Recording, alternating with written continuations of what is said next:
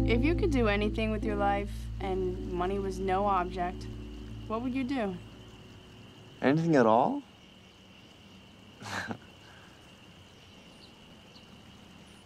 when I was a kid, I used to play this video game for hours Street Fighter 2. And I remember thinking, you know, people get paid to do this, to think of the game and to create the characters. Like there's this one character, Blanka.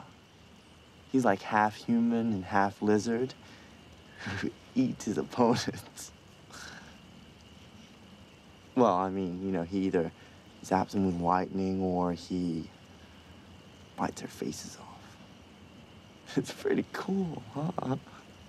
So you design video games? Nah. I kind of like to be Blanka.